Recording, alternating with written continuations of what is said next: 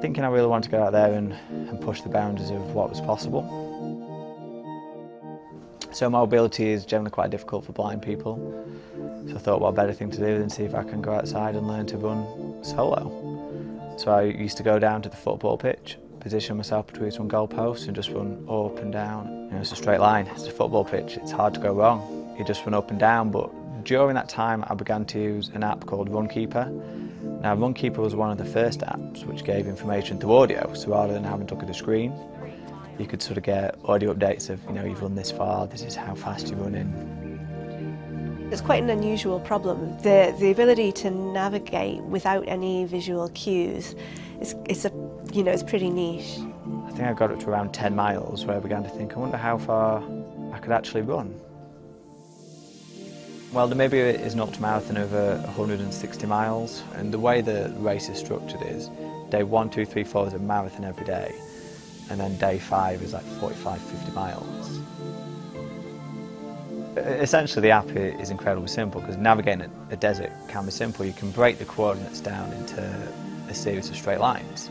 Our aim was really to make the interface as simple as possible. And so it's a bit it's like a cross between satellite navigation and the reversing sensors in your car. So if Simon is too far left from where he should be going it beeps. To bring me back into the centre line to continue the route all the way through. So it's very simple but that's exactly what it's supposed to be. It's supposed to be simple unintrusive because I'm going to have to listen to this for quite a long time in a desert we didn't invest a lot of effort in making the app look pretty because the audience isn't looking at it. You know, um, I was running a line that I could feel underfoot. And all we've basically done is we've used technology to create a virtual line that I don't feel underfoot, but we use audio to make sure I'm sort of maintaining a particular bearing and staying on a virtual line. So for me, the technology has solved the navigation point, so I've sort of put that in a little box. That's sorted, that's away, that's done, we're going to navigate. So now it's a case of putting all the other little pieces together and making sure you get across that desert.